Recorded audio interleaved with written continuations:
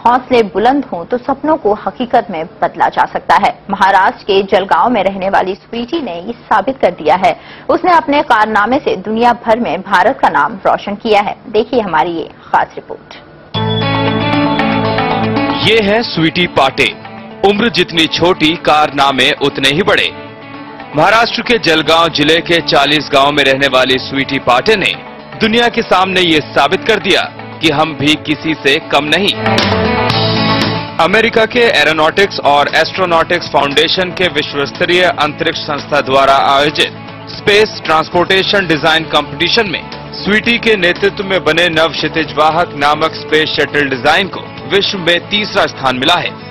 इसी के साथ स्वीटी को अपनी इस खोज को विश्व के सर्वोत्तम कॉन्फ्रेंस यानी स्पेस 2012 कॉन्फ्रेंस एंड एक्सपोजिशन में प्रेजेंट करने का मौका भी मिला। स्पेस एक स्पेस व्हेकल बनवायचं होतं ज्याच्यामध्ये पन्नास पॅसेंजर्स अंतरिक्षचा आनंद घेऊ शकतील. या कॉम्पिटिशनमध्ये ऑल ओव्हर द वर्ल्डमध्ये माझ्या आणि माझ्या टीमचा थर्ड रँक आला आहे. अ, ह्या टीममध्ये मी ॲज अ टीम लीडर आहे आणि सात माझ्याबरोबर अजून माझे टीममेट्स आहेत.